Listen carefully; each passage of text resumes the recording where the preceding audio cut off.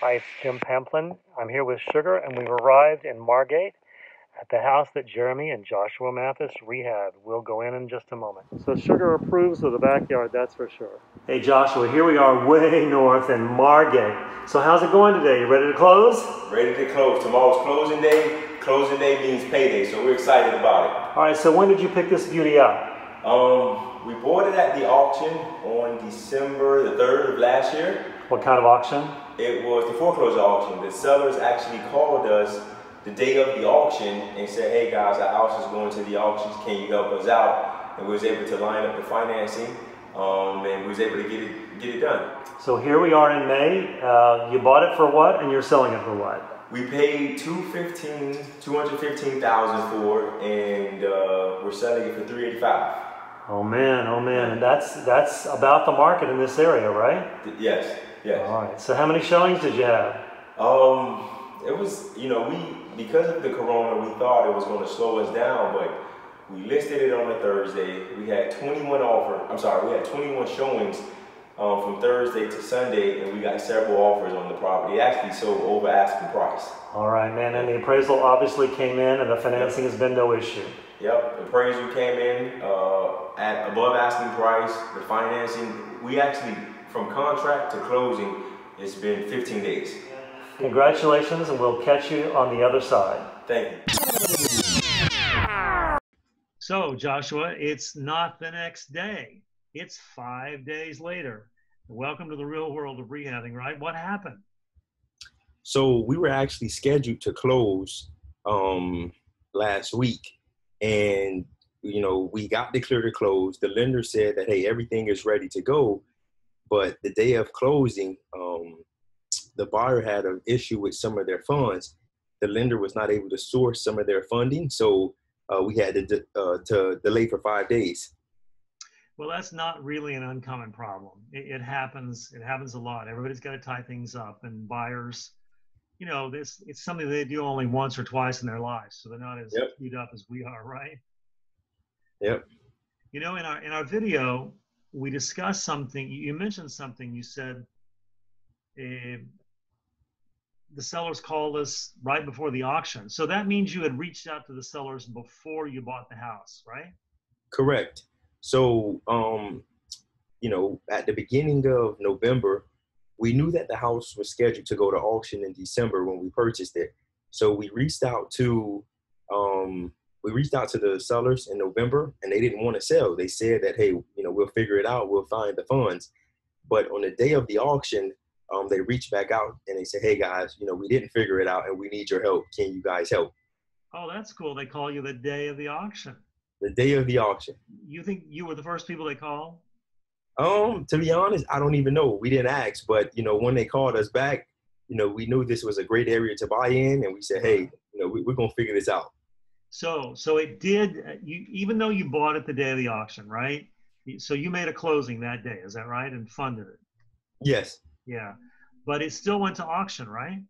Yep, it actually went to auction. So one thing that we learned that there is a redeem period um, and the, the property actually sold at auction in the morning, but we were able to um, redeem it later that afternoon. Later that afternoon. So we'll have to have another little session on the redemption period because it really just may be the one day, but we'll talk about that later. But that's cool. That that shows that you had a good deal, you recognized it, and you lined up everything in one day. And that's how you make money in this business because you bought it for like what, 215? We said that in the video, right?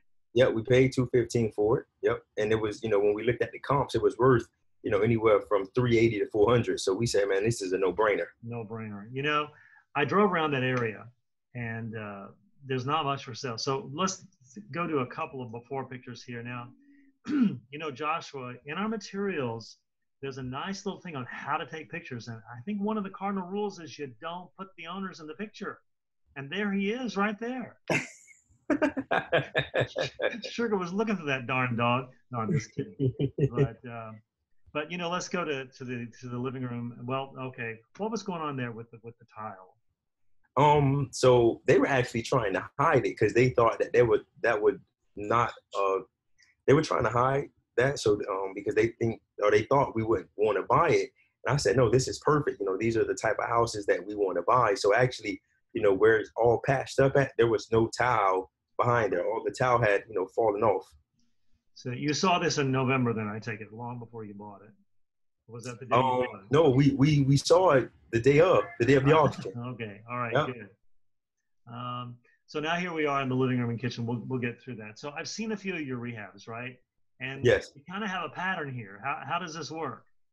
Oh, um, for us, we keep it very simple. As you guys know, we do a lot of rehabs, and um, you know, early on when we first started rehabbing, we would change it up and you know try to, you know, make every house different. But then that gets complicated, and you can't scale you try to make things different. Right. And also, you know, before contractors would always assume. So you take the guessing out of it, and now we kind of do almost, you know, we do all the houses kind of the same. Are you able to get the same guys in there for the most part? Yep, for the most part. Yep. So how long did it take you on this one? I mean, you know, it's certainly in livable condition, right? But you just had to redo things. Yes. Um, and actually, we were going to wholetail it. We were just going to close on it and put it back on the market.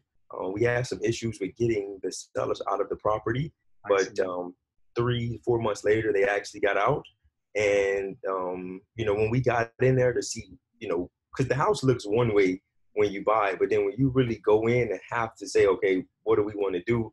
It looks completely different. Right. And we just decided to say, hey man, let's you know let's spend a little bit more money and um, get it to let's get it looking better. So so let this be a, a word of caution to people. You have to deal with human beings in these situations, and they called you, they needed their help, you helped them, and and then they squatted, and that happens. Yep. Yep. You, you got to be prepared for all kinds of things. This is why you know you have to know what you're doing you have to count your pennies and and know where your money's coming from right definitely yeah so i drove around as i said in this area and there wasn't a lot for sale great area so do you think you got a lot of visitors because the the demand is pent up or people I, I don't know. I mean was it because of your beautiful rehab? What do you think's going on in the market? I mean you guys had no problem selling it and getting the money. No problem at all. Um i think the retail market is still strong. Buyers are still buying. It actually sold over asking price. And we only night we only, you know, I mean you can say we did a full rehab, but as you can see here in this picture, we didn't pressure wash the outside of the house. We didn't even paint the outside. Um, it was a lot of things that we did not do. Um, um, because one, we knew that this that this uh, where the house was located, it's a strong retail market, and there were no active comps. So we knew that you know with our experience, we knew that hey, you know we should get a lot of demand for this property once we list it. Yeah.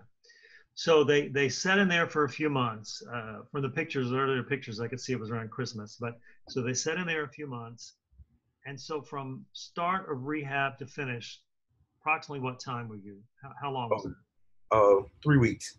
Uh, three weeks. Okay. Yeah, I want to I want to show people one of my favorite things here. The next slide. I know this looks boring, but I love a good garage, man. I, I love a good garage. This is this is a really to me as a buyer, this would this would do a lot for me. I don't know why. it's amazing what paint does to a house. yeah. Well, listen, Joshua, and uh, you and Jeremy are in the picture somewhere in this. Uh, I appreciate your time. I appreciate you sharing the success with us. It's especially important right now for people. What, what's your advice for new investors right now? Um, just one, find a mentor. Um, you know, that's number one. And number two, you just got to work hard to be consistent with it. Um, you know, when we started with you guys in the in the mentor program, you remember we would call you every day. Oh yeah. Um, every day calling, asking questions, and just trying to figure it out. So, like I said, finding a mentor, getting around the right people, working hard, and just being consistent. All right. Listen, Joshua, thank you and good luck. And uh, let's move on to another project, man. Hey, thank you. All right. Bye bye.